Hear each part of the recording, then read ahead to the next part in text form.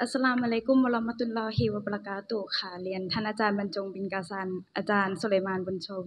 ครูอามินาบินกาซันนะคะ ครูพี่เลี้ยงและก็รวมถึงทีมงานของโครงการ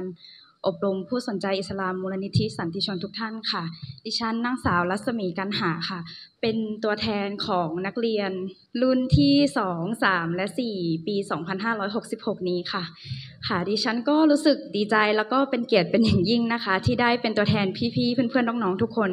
ขึ้นมากล่าวขอบคุณทางโครงการค่ะ ดิฉันนะคะก็รู้สึกประทับใจในการเรียนการสอนของที่นี่ตั้งแต่วันแรกนะคะ ที่ก้าวเข้ามาเลยค่ะ เราจะได้รู้สึกถึงการต้อนรับที่แสนอบอุ่นค่ะ ตั้งแต่ก้าวเข้ามาในโครงการเลยนะคะ แล้วก็การให้ความรู้ของที่นี่ก็มีระบบการเรียนการสอนนะคะ ที่เป็นกันเอง ระบบการเรียนการสอนที่เรียบง่ายนะคะทำให้เราเข้าใจแล้วก็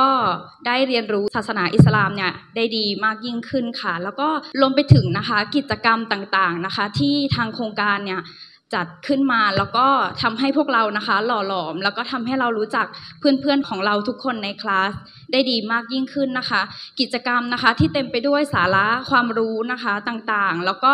ข้อคิดต่างๆที่คุณครูนะคะ แล้วก็พี่พี่ครูผู้ช่วยสอนทุกท่านเนี่ยคอยที่จะแฝงให้เราเสมอๆค่ะ แล้วก็ยังทำให้เราเนี่ยได้เพิ่มนะคะ ความศรัทธาในหัวใจค่ะ เราได้รู้ว่าเอ่อตอนนี้เราทำ สิ่งนี้เพื่ออะไรเพื่อใครแล้วเราก็จะได้อะไรตอบแทนค่ะ ต้องขอขอบคุณทางโครงการจริง ๆนะคะ ที่ทำให้หนูได้รู้จักศาสนาอิสลามได้อย่างถ่องแท้มากยิ่งขึ้นค่ะทำให้หนูแบบได้เอ่อ prioritize คือจัดลำดับความสำคัญนะคะ ว่าเราควรนึกถึงใคร แล้วก็สิ่งไหนเป็นอันดับแรกค่ะ เพราะว่าหนูเชื่อว่านะคะ การที่เราอะค่ะมีศาสนาเป็นตัวชี้นำแล้วก็ใช้ในการใช้ชีวิตอะค่ะในการดำรงชีวิต ก็คือการที่เรามีศาสนาเป็นตัวชี้นำไม่ว่าจะด้านไหนๆของชีวิตอะค่ะจะทำให้เราไปสู่หนทางเดียวคือหนทางที่ดีแล้วก็จันนะค่ะ ค่ะ แล้วก็สุดท้ายนี้นะคะ ก็เชื่อมั่นว่าเพื่อนๆ พี่ๆ น้องๆ ทุกคนในที่นี้นะคะ ก็ได้รับกำลังใจดีๆ แล้วก็ความรู้ดีๆ ที่ถูกต้องนะคะ